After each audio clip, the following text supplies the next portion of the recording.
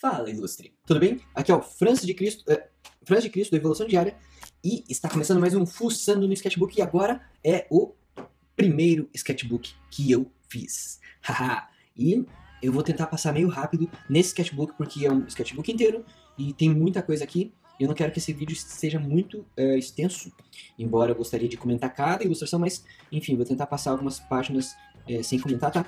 E já aproveitando, te convidando, meu filho, minha filha, coisinha linda, dá uma curtida, dá uma joiada bonita pra mim e pra toda essa galera aqui, bonitinha. Hum, e também se inscreve no canal se você ainda não é inscrito. Tem todo dia um vídeo novo aqui no Evolução Diária sobre desenho, sobre ilustração, dando dicas de mercado, inclusive de como você consegue trabalhar e viver apenas com desenho, que é o que a gente faz, beleza? Então aqui começando com a página em branco, com Mary Praxe, e alguns estudos já de um pato, é, criação de pato.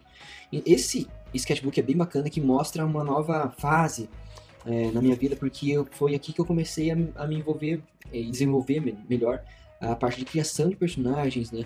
É, no estilo cartoon e também mais por final algumas coisas sobre caricatura, né? E também foi o primeiro contato com aquarela e desenvolvendo um pouco mais também da parte de, de pintura. É, sim, ainda era meio tosco, mas é, era o começo, né? O começo de uma nova, nova fase. E é bacana até para ter como comparação, né? Como, como, uma comparação dos sketchbooks mais atuais e ver como realmente o nível é, melhora. Eu sei que tem muita coisa para melhorar ainda. É, com relação à técnica, com relação à criação mesmo, assim, muita coisa que é, eu, eu, eu, sei que tem, tem ainda um caminho pela frente. É, aqui, ó, ah, legal que tem a data aqui. Esse foi 6 de 2 de 2009, tá? Esse sketchbook também é de 2009. E, mas é bacana comparar esse sketchbook com a, sketchbooks mais atuais, que são os que já saíram aqui no canal, para você ver que é, não é aquela história de dom, né? É, é, muito treino, é muita prática, é muito desenho que a gente faz, muita coisa que vai ficar fica feio, que fica não fica muito legal, mas é isso aí. Aqui foi uma tentativa de caricatura já, muito ruim, por sinal. É um desenho de observação da avó da K e da gatinha, que é a Catinha, que era a Mitch. Um, camarões já para a criação do personagem, que era para uma logo. Um, então aqui tem muitos rabiscos, né, muitas coisas bem soltas mesmo, muitos estudos. Aqui uma pinturinha em aquarela de uma personagem que eu estava vendo num filme. Nossa, não, não faço a mínima ideia de que filme que seja. Eu lembro que a, a mulher era muito extravagante, assim, muito isso aqui. então eu tentei desenhar ela e fiz uma, fiz uma pinturinha em aquarela é uma das primeiras pinturas de aquarela que eu fiz. É, aqui era um menininho que eu vi na praia, um figura, o Pia tinha, sei lá, 12 anos. Mas pensa num, num com uns papos malucos, parecia um adulto doidão, sei lá. Daí eu desenhei ele, ele bem, bem parecido com isso aqui, ele tinha um olharzinho de peixe morto que era um sarro. Então, desenho já de é, personagens um pouco mais, é, com uma característica um pouco mais diferente daquelas primeiras que eu fazia no, no, quando, sei lá, quando eu ainda estava na faculdade, né? Que já era uh, uma pegada um pouco diferente. Aqui foi uma tentativa de fazer uma ilustração de página cheia, toda impactante, toda, né? Ficou isso aí, né? Com uma, uma composição bem pobrinha, né? Porque tá totalmente centralizado na horizontal, na vertical aqui, é, inclusive com, com esse eixo aqui, né, da, da diagonal. Então ficou, né, não tem, não tem um apelo muito bacana assim. Mas eu achei que ia arrasar nesse, nesse, nessa ilustração aqui, quando comecei. então aqui já... Ah, que massa. Um, aqui já uns, uns desenhos de personagens, mas aqui já é uma tentativa de caricatura do Nando Reis, 2009. Muito legal ver isso, cara.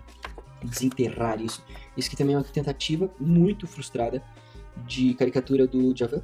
Extremamente frustrada. Pense na frustração do caboclo. Isso aqui já era um desenho rápido, um estudo de uma silhueta que, que eu poderia usar para o Milton Nascimento acabei não desenvolvendo isso aqui, mas foi uma ideia que eu tive. Então, bora pra frente. Isso que era pra também, se não me engano, era uma logo, isso, uma camiseta, alguma coisa que tinha, pirata, tinha uma caveira de, de pirata, assim. Ficou mais ou menos isso aqui. Eu, eu, eu lembro que tinha, é, foi no cartaz, eu reproduzi isso no cartaz grandão, assim, era um A2, alguma coisa assim. Tentativa. Acho que já estava começando a trabalhar com uma silhueta de um personagem que era uma bolinha em cima e as pernas bem fininha. Mais pra frente nesse sketchbook vai ter, que é mais ou menos aqui, né? É, mais pra frente nesse sketchbook vai ter algumas, algumas versões disso que eu achava bem bacana, assim, pra tentar, tentar batizar um estilo meu, né? Aqui mais tentativas de caricatura. É, eu lembro que eu fiquei muito puto com a Ellen Hunt, porque eu tentei fazer ela, eu tava assistindo é, um filme dela com o Nico, é, Jack Nicholson, e, cara, eu não consegui fazer ela, fiquei muito de cara, assim. Eu lembro que, pô, por que, que eu não consigo fazer essa mulher? Enfim, legal, legal ver a frustração do caboclo no começo da vida ilustreira. Olha só, Charles Bronson. Cara, eu lembro que essa, é, foi no mesmo dia, eu assisti esse filme, tava passando na Globo, daí depois assisti o Corujão com Charles Bronson e, enfim, fiquei desenhando até altas horas esse dia. Única coisa que eu lembro. É, pegada estilo Dr. Seuss, muito legal, muito influente para mim. Aqui são cópias, né, do, do, é, do artbook do livro B-Movie, e o artbook é fantástico, é muito melhor do que o filme. É, compre o artbook, é muito massa. Desenho de observação da K dormindo, né? Foi uma tentativa, os pés totalmente torto, né? Foi feito direto na caneta, isso foi legal também, desafiar a fazer sem esboço, tentar fazer direto. E aqui já uns, uns estudos do primeiro livro ilustrado e, e, que foi publicado, que na verdade foi meu começo na, na parte profissional, né? Fui convidado pelo artista Lacqua, é, eu mais o Silvio Spanenberg, aqui de Curitiba também. A gente ilustrou uma coleção de cinco livros do Pingo, que é esse Coati aqui, da autora Ana Maria Gonçalves. E pô, foi muito legal, foi uma foi um, um primeiro contato assim mesmo, é, profissional com ilustração. É, fazendo livro infantil, né? Foi muito, foi muito bacana. Desafiador pra caramba, mas foi bem legal. Edith Piaf, uma tentativa, só que uma, uma versão mais cartoonizada mesmo dela. Não sei se você conhece, ela é uma cantora é, francesa extremamente influente no mundo todo, assim. Hum, vamos lá. Aqui tem estudos de um, um, um móvel que a Ká estava desenvolvendo na, na, na, na, faculdade dela, e era um móvel para o TCC dela, né, para o trabalho final dela. Aqui foi uma, uma, um autógrafo do Rafael Silveira.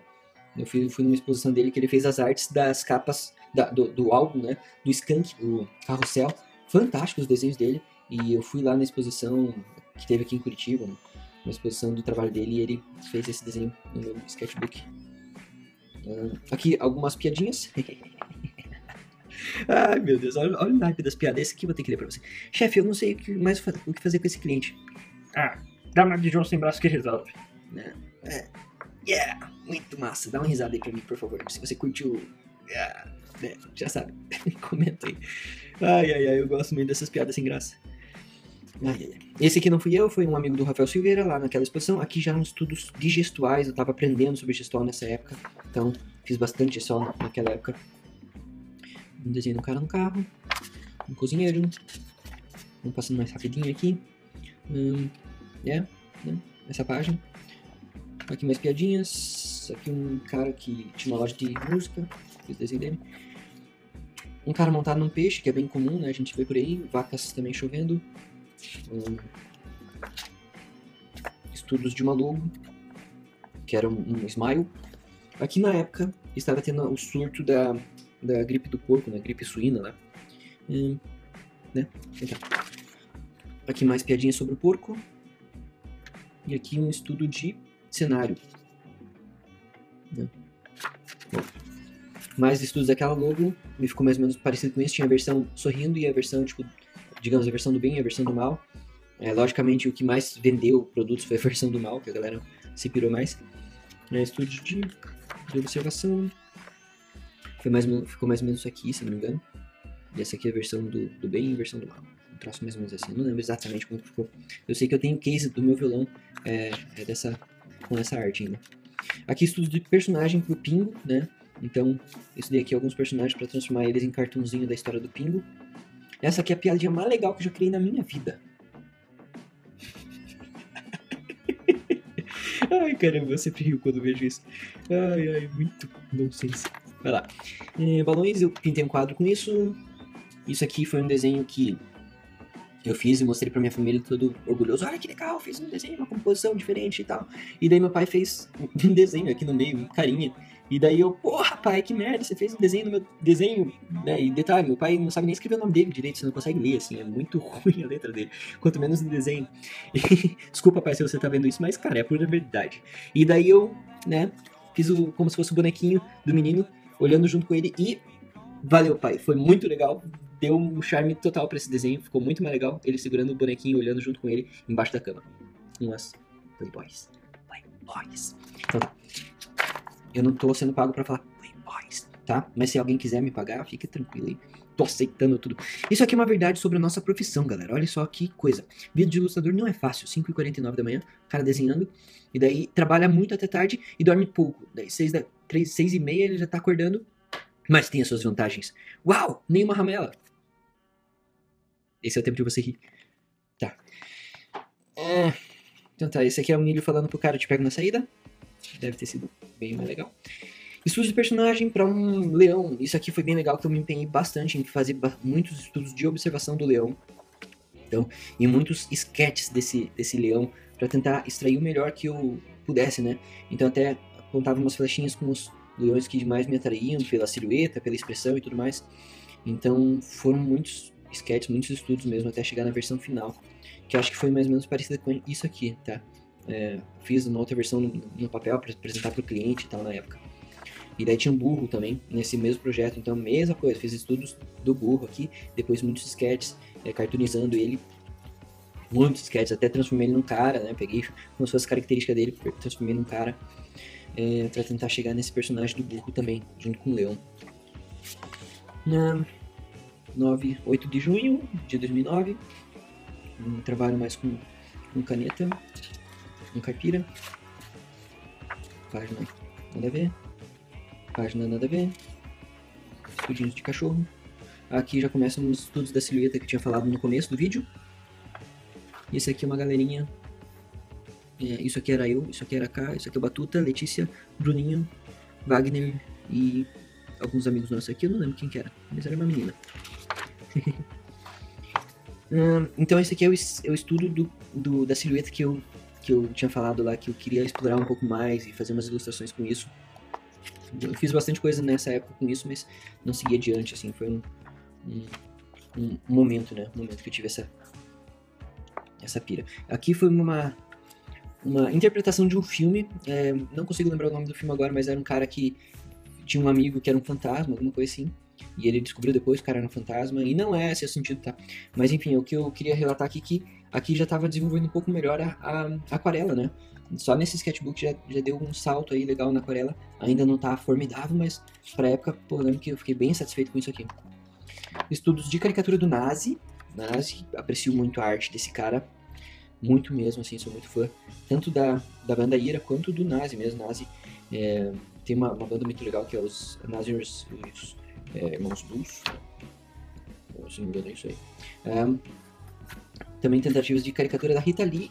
E nessa outra página tem a caricatura da Rita Lee, que eu gostei muito na época, eu lembro que eu curti demais. Até hoje eu curto, eu acho muito legal que ficou bacana a expressão dela e, e os exageros e tal. Personagens aleatórios, também tentativa de caricatura. Desenhos gestuais. E aquele carinha da silhueta lá, que eu tinha gostado. Pontinho, redondo com as perninhas finas. Era mais ou menos isso aqui, ó. Enfim. Aqui uma, uma arte que eu tinha feito, daí o Mox, um grande amigo meu, ilustrador aqui de Curitiba, colocou essa boca malucona aqui do lado. Muito obrigado, Mox. E aqui está chegando o final do sketch. Hum, fiz alguns estudos da pose para colocar nessa silhueta do personagem. Esse é um desenho com, com a técnica de Ashura na caneta, né? Aqui é um pastel oleoso, muito... Me bati muito... Ah, com giz também escolar, aquele giz escolar aqui. Então foi meio... meio zoado isso aqui. Esse artista aqui que eu ocupei esses desenhos é o Jean-Claude é, Alphen. Muito massa, eu recomendo demais. As artes dele são muito legais, os personagens dele são muito legais. Aqui tem muita coisa que eu fiz baseado nesse estilo dele. É, tentativa do Milton Nascimento. Cópias dos cachorros que o Laca faz, que o Laca fez num, livro, que eu tenho o livro, inclusive. É, Sara é, e Pitoco. Muito, muito legal, muito bonito as, as pinturas em farela e tudo mais mais personagens soltos aqui, mais estudos. E yeah. é uma pinturinha com acrílica, né? E um galo gigante perseguindo um carinha. É, thumbnails para definir uma, uma, tela que eu ia pintar lá com a minha mãe e tudo mais. Uma galera comemorando jogos das Olimpíadas que iam ser feitas aqui no Brasil, que vão ser feitos né, ainda nesse ano. E uma caricatura do Ivo. Ivo, esse vocalista do Blindagem, né? Já falecido. Último desenho do sketch e pimba, acabou. Beleza, então muito obrigado, muito obrigado mesmo por você ter assistido até aqui esse vídeo. Se você curtiu, dá aquela joinha bonita. Mais uma vez, peço para você se inscrever nesse canal. Se você já é inscrito, chama alguém para se inscrever também, beleza? Valeu, ilustre. A gente se vê amanhã. Eu sou o Francis de Cristo, do Evolução Diária. Opa! E continue com a sua evolução diária. Até mais. Tchau.